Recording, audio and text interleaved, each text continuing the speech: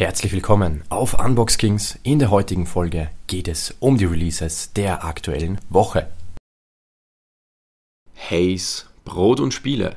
Die Bedeutung Brot und Spiele stammt aus dem Römischen Reich. Man versteht darunter die politische Strategie, das Volk mit Geschenken und inszenierten Großveranstaltungen bei Laune zu halten und von den eigentlichen Problemen der Gesellschaft abzulenken. Das letzte Album von Hayes, die Zwielicht-LP, erschien im Februar 2018. Etwas mehr als zwei Jahre später kommt nun das dritte Soloalbum des Karlsruhers. Brot und Spiele kommt mit 16 Tracks, Features kommen von Shara, Cashmo und Easy Ono. Das Release kommt über Alte Schule Records und erscheint als CD, als Vinyl und auch als Box. Daniel Gunn, Der Hölle entgegen 2.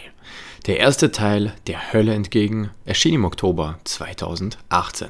Knapp eineinhalb Jahre später kommt nun der zweite Teil des Hannoveraners. Der Hölle entgegen 2 kommt mit fünf Tracks und beinhaltet keine Features.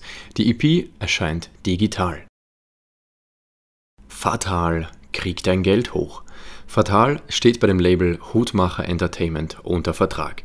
Das letzte Album Ohne Granton, kein Flexen erschien im November 2018. Jetzt steht das neueste Machwerk des Berliners an. Kriegt dein Geld hoch beinhaltet 13 Tracks und kommt unter anderem mit Features von Bones MC, Club Main und Locke Nummer 19. Das Release kommt über Hutmacher Entertainment und erscheint als Tape und auch als Bundle. Eure Meinung zu den kommenden Releases würde uns natürlich interessieren. Schreibt sie uns in die Kommentare. Darüber hinaus könnt ihr auch gerne oben rechts auf die Info klicken und dafür abstimmen, auf welches der Releases ihr euch am meisten freut.